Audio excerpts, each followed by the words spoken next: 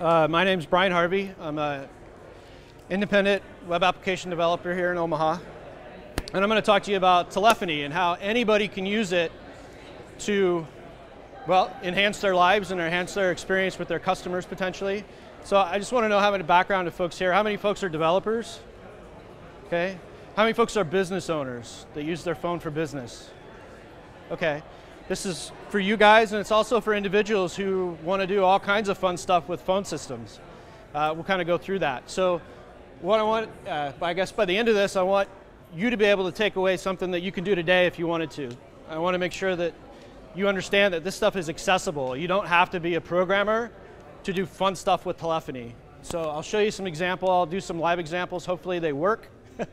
uh, and we'll, we'll show you the, what you can use it for as an individual all the way up to an enterprise business. Everything I'm going to show you here today is all open source and free to use. So none of it costs money. You have to pay for minutes that you're using with the, with the provider, but all this stuff is free.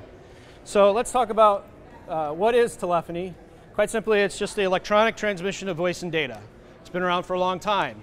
Traditionally, uh, back in the day, pre-1999, it was all done uh, by uh, provided by big telephone companies or closed providers. So everything was closed source, proprietary, and very expensive.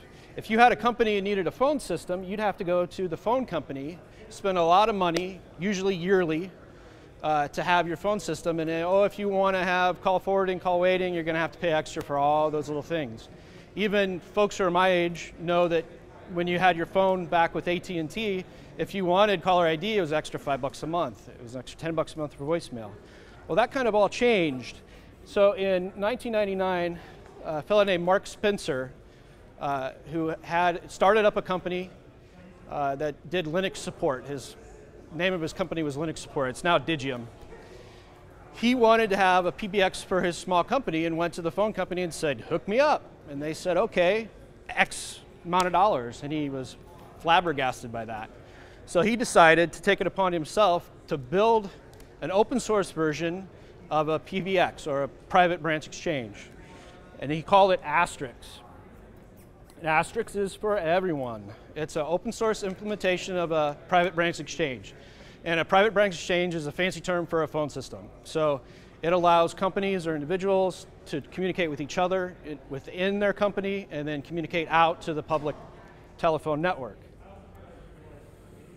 Um, Asterisk can connect to the traditional publicly switched telephone network, so you can use copper pairs to it, or all the examples you're going to see today are using voice over IP. Uh, it didn't originally do voice over IP, but as uh, internet bandwidth speeds become better, uh, they can start sending a lot more of their telephone packets over the same kind of network that you do with TCP packets. Uh, and the quality became better, so it's more reliable today. So a lot of companies are switching from traditional to voice over IP systems to save money. Uh, it was originally written for Linux and managed by a command line interface. So if you knew Asterisk back in 2000, 2003, you are a hardcore geek, right? So you had to do it via the command line, you had to do it by configuration files. Uh, it was really hard and inaccessible to the average Joe. Uh, many people saw this as an opportunity to use this open source Asterisk and built GUIs on top of it. So most of the tools you're going to see today are GUIs that are built on top of Asterisk functionality that make it accessible to anybody who's not a programmer or anybody who wants to learn or do telephony. So how can you use it? Well, I, I challenge you to find ways you can't use it. Um, if you can think of a scenario you want to do with routing calls, sending text messages, sending calls, you can pretty much do it, given that you you know, know the technology enough to be able to have it happen. Uh, so I'll give you just a quick use case that anybody might run into. Let's say you're on Craigslist and you're selling your car. And you really hate to give out your private phone number to get, you know, you don't want to give out your cell phone because you're going to get calls from weirdos at 3 o'clock in the morning. And you don't want to give out your text, you know, so they can text you at weird times. So what you can do is you can go to a VoIP carrier and for $1, buy a phone number instantly provision that phone number. So once you hit buy, you can use it instantly. You can then set it up very easy to forward to your cell phone. And it'll also, by the way, forward your SMS messages to your cell phone. And now you're insulated. So all those calls are going to that number. They're coming to your cell phone. That person at the end never knows who you are. right? So that's just one way you can use it. And there are countless other use cases you can think of. And we'll go through a few of them, I guess. Uh, one way you can use it for good or for evil uh, is you can do things like spoof your caller ID for fun, uh, for security reasons. So if you have a need for privacy, you can do that. Or you can do it for more creative reasons. So if there's some social engineers out there, uh, open source telephony can kind of help you out. Uh, you can, another use case example, you can get a, a, a number in a different city. Let's say you're an independent developer like I am. And I know that there's a lot of what I do going on in Chicago. I can go and for a dollar buy a local Chicago number, spin up a page on my website that looks like I'm from Chicago, and have people call me and think I'm in Chicago. Uh, that's one way you can do it. Or, you know, another example is if you have family who still use traditional phone lines and pay a lot of long distance. I don't know who does these days, but you might. Uh, you can give them a local number if they're in Atlanta, you can give them a local number that forwards to you so you're saving all that money. So there's a ton of ways to save money. Uh, and I guess I jumped myself here, but again, there are tons of use cases you can come up with. Uh, well, where's the profit? There are a lot of ways to profit from it. Uh, the most easiest example is to save money, right? So you can ditch AT&T, you can ditch your landline. You can even take your landline number. A lot of people like my mom and dad still have their landline. And I tell them every day, this is silly. Why do you have this? You can port that number to a VoIP provider for a dollar a month and have those calls go to your cell phone. So their worry is, their barrier to exiting is, well, everybody knows our number. We've had it for 50 years, right? Well, you can keep that number, port it over, and now it, everything will go to your cell phone. So it's more convenient, it's easier, and you're saving some scratch.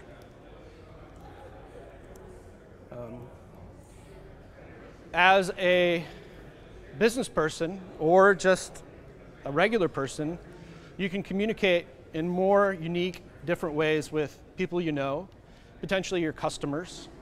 Uh, so it, you can have more touch points with your customers through SMS and through uh, telephony, voice. And I'll show you some examples and use cases that we go through. Uh, if you're a developer, um, you can access uh, it's really easy now to access telephony applications. If you know how to use a REST service, you can write phone systems. You can write text messaging systems. Uh, all it takes is understanding REST. So you don't have to be an asterisk geek to get up and running with really powerful features. So that could become a new revenue stream for you. Uh, it's a value added to your customers. So when you're building something for them, you can say, oh, I, we're building a customer relationship management tool for you. Wouldn't it be great if we just click the phone number and it dials you and dials them, right? Convenient, easy. So you can do things like automate processes or become more efficient. I'll show you an example of how I use it. Uh, so I have a company where people have trouble every once in a while, so they need to open a service ticket. Well, I like to know when those things happen. So I'll show you what I did to implement some notification service so I know when somebody opens up a ticket. Uh, you can build whatever you can think of. Really, the sky's wide open. And it's, it's really kind of an exciting place to be right now because it is a disruptor and it has been since 2000, right? So we're taking all this business away from the phone companies and empowering anybody who wants to spend a little time with it to do the same things that they could that they had to pay thousands for for free. So uh, let's go to demos and hopefully all this demo stuff will work. So, so nope, we're not going to do that. Um, so I talked about wanting to be able to empower anybody to walk out of this talk and do exactly that, to, to spin up a phone number for whatever they want to spin it up for, right? So let's say that you're doing that Craigslist deal and you want to hide your identity with a new phone number. So you can go to this VoIP provider called Vitelity, and I went last night and bought a number, Number cost me $1. It cost me one cent a minute to call. I think it cost me less or half a cent to do a text message through it. So this is the number I bought. I selected the select down. So when I bought it, it instantly became available in my list of numbers. I selected how I wanted to route it. I wanted to forward it to my cell phone. So now if I call that, and I'll do it, and hopefully it'll work. Oh, another cool thing too, if you have a VoIP system, you can have a phone on any electronic device you have. So this is my soft phone on my computer. So anywhere I'm connected to the internet, somebody can reach me. If I'm in Denver on vacation, somebody calls my local number and I have my soft phone up on my phone or on my computer, I can use it. When I'm out of the country and I'm on Wi-Fi, I don't even use the cellular network. I call through my voice over IP system and save myself a ton of money by not using my carrier. But let's go ahead and call, what number was that? Uh, five.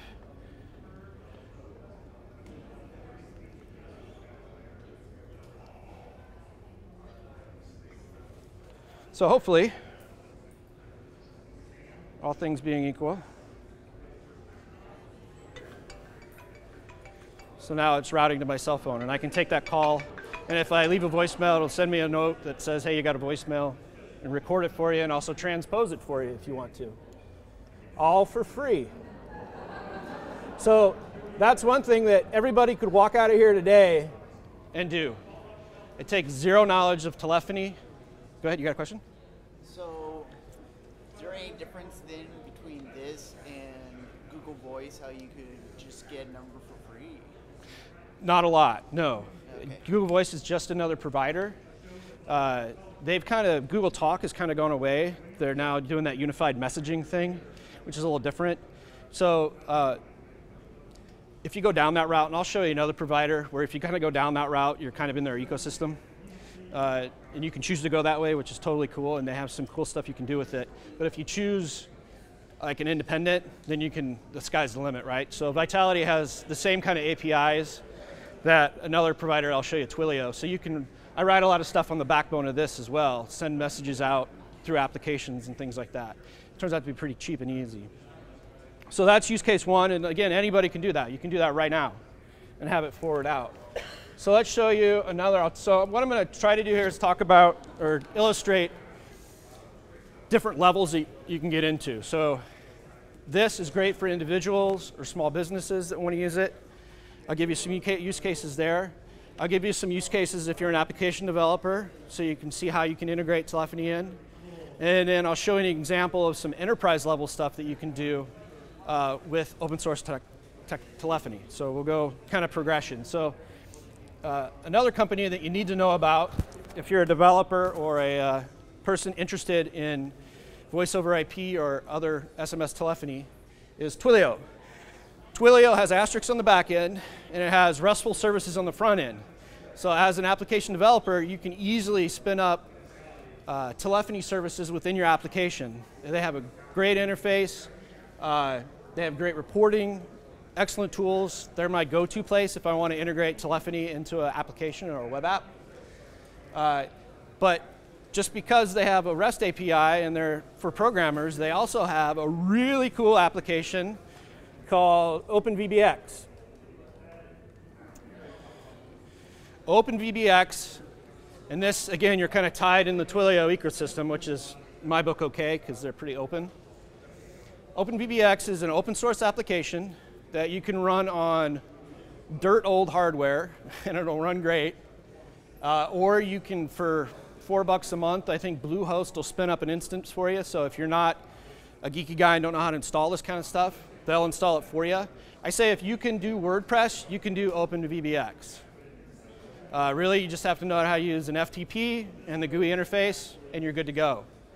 So let's show you some examples with OpenVBX. So let's go back to that example I just showed you that we did with Vitelity, where we bought a number, we spun it up, and we forwarded it to our cell phone.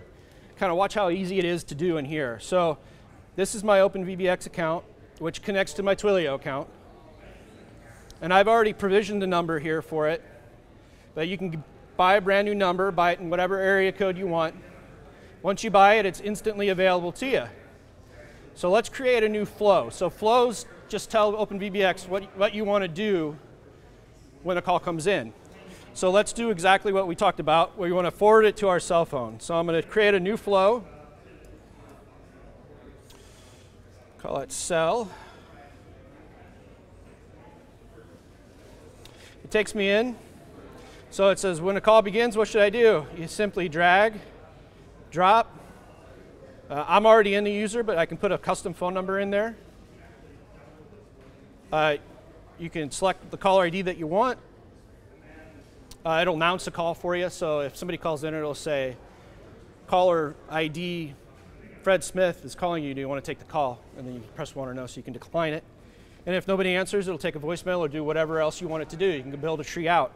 So this is all total drag and drop, totally easy, absolutely accessible to anybody who wants to use it. So whatever you can think of, again, you can pretty much do. So I also have a nice fun demo. And I spun this instance up last night. In fact, uh, I brought my son and daughter here tonight. A year ago, when I started playing with this, my, my son built an IVR, which is an integrated voice system. So press one for a monkey, I think we did, and press two for an elephant. And he did it all on his own, you know, within 15 minutes of drag and drop. So it's totally easy to do. So I got a demo here. So I encourage you to, because I'll need the participation in order for the demo to work. But you can text that number or call that number to vote for which track is your favorite track, right? And if you uh, vote via text, it'll come back with a relevant response based on what your track you chose. So if you choose technology, it'll quip about technology. If you dial in to vote that way, uh, I encourage you to select the wrong number. Select a six, just for fun. So you can build what if cases. So if he's going to select the wrong number, not one through four, it'll say, well, how'd you screw that up? You got to do one through four, right? So it's kind of fun. And this is something you can do in seconds. So, and again, this is all free. So imagine if you're in a business scenario or if you have clients who have a business. Uh, a lot of folks use OpenVBX and can use it because it's open source to sell as a service to their customers. So if you're in SEO marketing, you can help your customers with SMS campaigns or other things that you would want to do with telephony. So it's kind of fun. So let's look at the results of our poll. Did, did it work for everybody? You get a response? So let's go ahead and manage the poll here. Oh, oh, by the way, for the guys in the bunch who think, well, what if I do twice or three times or four times? logs it one time, so it knows and won't let you vote over again. It'll give you a response every time, but on the back end, it lets you vote. So we can say that, you know, obviously technology is pretty popular, so that's pretty cool. Now, one other thing that's kind of cool is, lo and behold, I didn't do it. I tricked you, kind of, let's just say. Normally, it would be an opt-in, but I now have a list of everybody who just helped me out.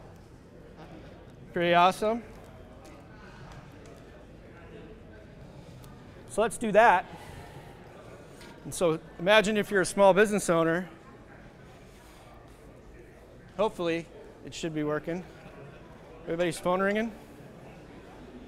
It should in a minute if it doesn't. And again, I got this running on some low software. But if you answer that phone, it'll give you a nice thanks for coming to bar camp.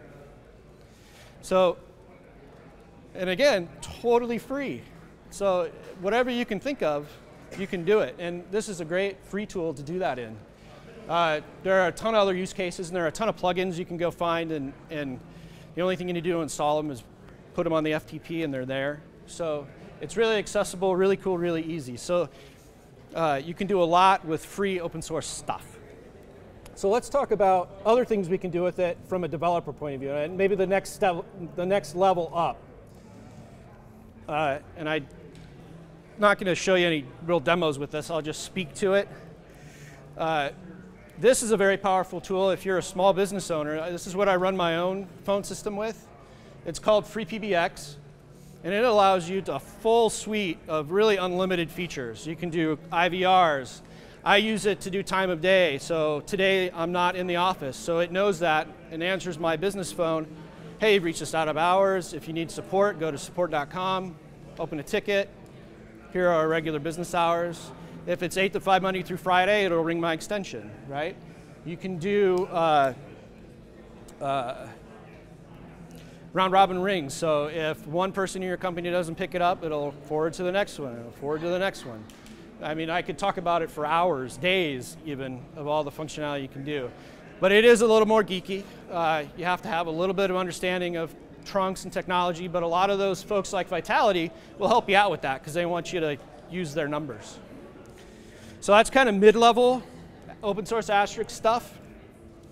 And then we can get into like in more enterprise level use cases.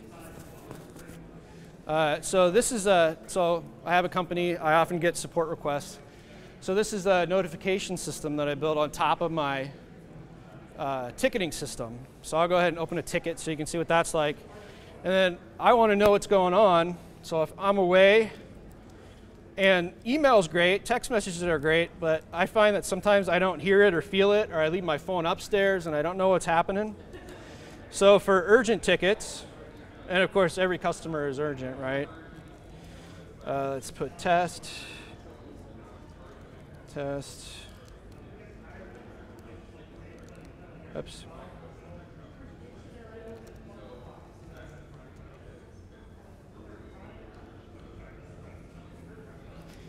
So I'm going to create that service ticket, and it should.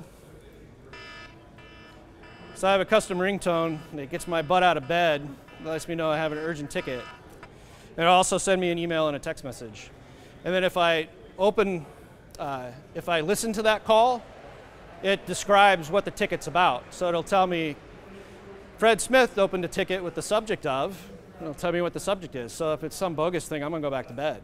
So I don't have to, it gives me more information uh, in a hands-free environment. So uh, that was done using uh, Twilio and REST API here's an application that I'm building. Uh, uh, it's not launched yet, but the front end's all done. So I do some stuff in the real estate market. So I'm opening a company called callforsalebyowner.com, which uses, leverages telephony to help people who are selling their home by owner manage all the leads that are coming in. So we do things like give you a custom phone number. So if you sign up for the service, you get a custom phone number in your area code. You get an email along with that. And then we print you a yard sign that you stick in your front yard. It says call for sale by owner. You have your custom number. It calls that number, and that number is the gateway for you. So uh, people interact with the IVR, and they can press one to get a, a, uh, a link with a mobile friendly website of the house, or they can contact you. Uh, people can leave a voice message if you want them to. Uh, it also collects statistical data on the person. So if I send you a link, uh, I set a cookie so I know how many times you're visiting my site again and again. Uh, and with caller ID, a lot of times, well, hit and miss. 50% of the time or better, I also get a name, number, and address on you. So I, I now have building a contact list. And as a homeowner, I can say this is a hot lead, this is not a hot lead, kind of thing. I'm still building the back end, but it's fully functional this side. So if you called or text or QR coded, you'd see it all and it works. So that's kind of a more of an enterprise level. Uh, that's also using Twilio uh, through S services. And then the, I guess the biggest application that I've been involved with is uh, I do a lot of work with call centers and writing applications and workflows for them. And I've done a lot of work in the real estate market. One of the call centers I work for uh, uh, has the call center for Century 21. And we noticed that 50% of the time, agents aren't answering their phone. So I created this company called Realty Receptionist, and I'm kind of exiting that company, but uh, that allows real estate agents to spin up a number instantly, and then they can forward their phone to that number, and we'll have a live agent answer that call, and they have access to all that agent's listings, and so they can answer questions about that listing. So it's pretty simple, and it allows those real estate agents to track that. This was done using an open source uh, call suite called VICIdial that's built specifically for call centers. Uh, and it's a very powerful solution as well. And you don't need to be that big of a geek to, to use it. Um, but for example, if for whatever reason you're a small business and you need to spin up a call center fast, within a day, you can provision hardware and have 50 seats of an inbound call center going or an outbound call center going just like that. Um, back in the day, you'd pay hundreds of thousands to do that. You can do that with an older piece of hardware. We run on PowerEdge 1950s for guys who know servers. Uh, dual quad core, not spectacular hardware. Uh, it's cheap, uh, and it's easy. So any, any questions about telephony, how you can use it? Would you use it? That, that first demo that you did, so you just bought the number at Vitelity and then it to your own server? server? Uh, uh, well, that first demo, Forward it. I forwarded it just to my cell phone. So you don't even You need did it with your own VBX, OpenVBX. uh. I did, yes. The one with Vitelity is just all in Vitelity. You don't have to install anything. You don't have to do anything. You just go to Vitelity, buy the phone number, forward it, done. And OpenVBX based on Asterisk? OpenVBX is based on Asterisk, yes. It, uh, well, it's based on Twilio, which is based on Asterisk, because there's that intermediary level. So if you, if you use OpenVBX, then you're in the Twilio sphere. So you buy your numbers from. Now there are people, because it's open source, who have uh, developed plugins for other trunking. So you don't have to use Twilio if you don't like them, but there's no reason not to. Um, so, any other questions? Do you know they, if they have a VMware instance for, for uh, OpenVBX? For OpenVBX, no. Uh, but it is super easy to do if you wanted to. Um, like I said, if I mean if you know how to install Ubuntu, you can install OpenVBX, and if you know how to word, WordPress. Uh, there are a couple hosts. If you go to the OpenVBX website, there are a couple of hosts where you can just turn it on and off. Bluehost is one. I think it's like $4.95 a month, and you can just spin it up and bring it back down. But I have virtualized all of these, so that is a virtualized instance right now. So you could replicate that and do it if you had to scale it or you wanted to distribute it to customers. Uh, and OpenVBX is also multi-tenant, so if you wanted to provide these services to customers, you could have manage multiple customers in that same interface, and and see and bill keep all their billing separate. So it's pretty cool from that perspective as well. So, okay. Any other questions? All right, have fun.